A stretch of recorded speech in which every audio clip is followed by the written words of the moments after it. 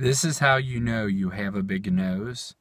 When you're outside, like cutting grass or whatever, and the sun hits your nose so much that that's the only red thing on your face. Like it casts such a strong shadow that like nothing over here is going to be red because the nose is so big. Like you can't, the sun doesn't even touch the side of my face ever. Same this way.